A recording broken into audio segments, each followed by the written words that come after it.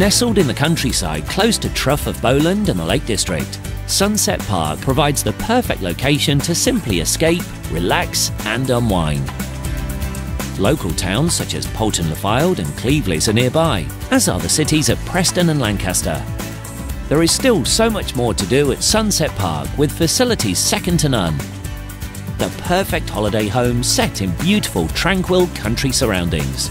Everything you need to escape